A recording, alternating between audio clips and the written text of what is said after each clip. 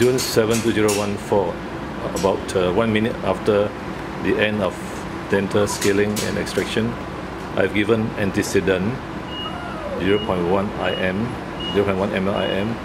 You can see that this old dog is still still uh, sleeping. Now it's going to wake up soon. Antisedan reverses Domitor. Domitor was uh, given early on at 25% of the formula. Now the formula is for 10 kg young dog, Domitor is 0.4 ml, ketamine is 0.5 ml in one syringe, IV. Now for this 17 year old, I calculated according to his weight and then give 25% IV, just 25%. You can see this dog is really knocked out. And uh, there was a bit of isoflurane plus oxygen intubation after intubation.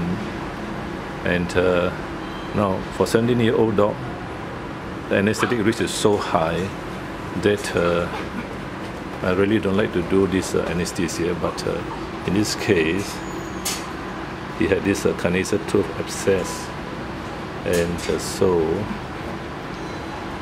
I gave one week of antibiotics, or more than 10 days antibiotics, plus uh, plus uh, a, a, bit of prednisolone, and uh, make sure that this dental dental extraction and scaling to be done very efficiently and fast. I mean, as long as the dog is not on isoflurane gas, he has a much better chance of survival. Now, I didn't give direct isoflurane gas because he had a painful mouth. So I did give 25% of the calculated formula of Domitor plus ketamine based on uh, 0.4 plus 0.5 0.4 Domitor plus 0.5 ml ketamine for a 10 kg young dog.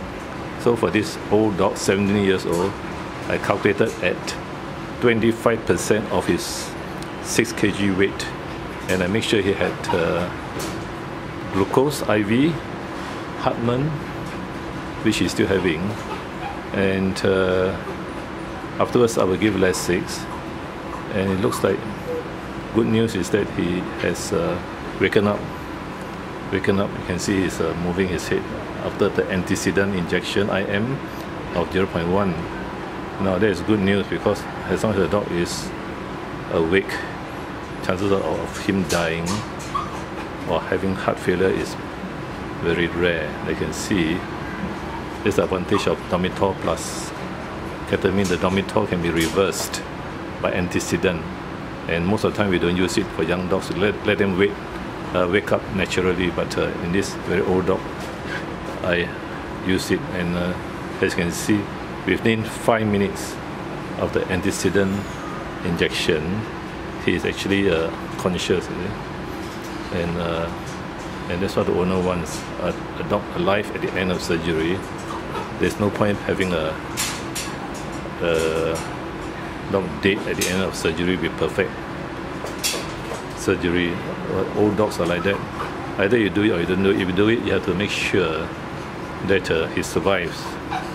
And to do that, you have to give very minimum dose of uh, sedation. Preferably give isoflurane direct, but in this case, I, I give a 25% of the calculated Domitor plus ketamine. Now never give 50% because these old ODs, sometimes they just can't take, take it even at 50%.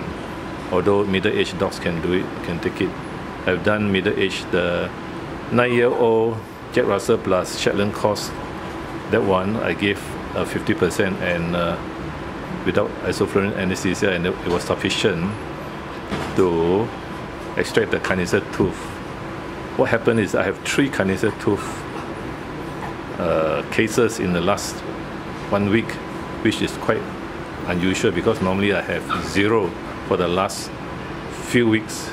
So this morning I did one, uh, you can see the other video, the Schnauzer was 11 years old, and Schnauzer was I gave 50%, and uh, it needed isoflurane top up, but uh, the Schnauzer definitely looks stronger than this fellow. Anyway, the schnauzer survived and has gone home to a happy owner. And so I expect this one to be having good news as well. As you can see he's uh, although he's blind or he has cataracts but he's alert and awake uh, the time is about uh, 2 p.m. So three cases of carnassial tooth abscesses, very unusual for for Toa Payoh vets.